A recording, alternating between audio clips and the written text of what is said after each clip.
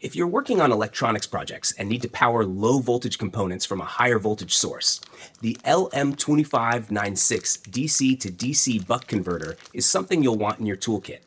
It's a small, handy module that steps down voltage efficiently. For example, if you have a 12 volt or 24 volt power source and need to run something like an Arduino, sensor, or LED strip at 5 volts or 3.3 volts, this little board will do the job.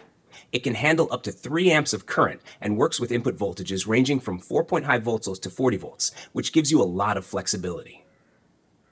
Using it is pretty simple. You just connect your higher voltage power source to the EIS and END EN SHA terminals. Then use a multimeter to check the output while you slowly turn the small screw on the potentiometer. That screw lets you adjust the output voltage to exactly what you need. Once it's set, you can safely connect your load, like your microcontroller, fan, or motor, to the out and out terminals.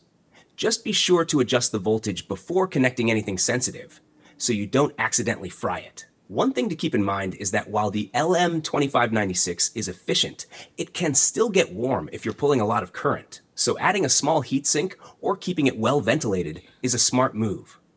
Also, make sure your input voltage is at least 2 volts higher than your desired output for it to regulate properly. Overall, it's a super useful little device for DIY projects, or even more advanced setups where different parts of a circuit need different voltages.